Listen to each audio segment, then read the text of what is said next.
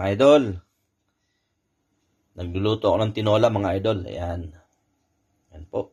May papaya. Ito ang problema, mga idol. Bili ako ng capsicum. Itong ah, siling malaki. Magkano, mga idol? 7.99. Yan. 7.99, ha? Apat na piraso.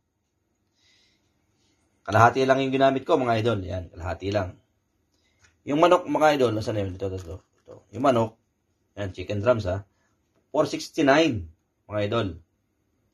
Mahal pa yung sili kaya sa manok. Kalahati lang ginamit ko, mga idol, dahil mahal. Titiparin ko yung sili. Dahil winter dito ngayon, mahal ang gulay. Yan, mga idol.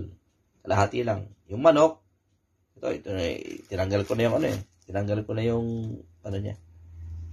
Ito, yung sticker. Kasi niluto ko na eh. Andito na. Kumukulo na.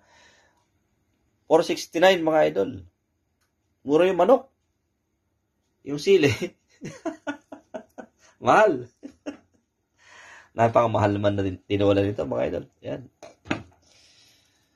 Ay, nako. Ayos lang. Basta makakain ng tinola mga idol. See you later mga idol. I love you all.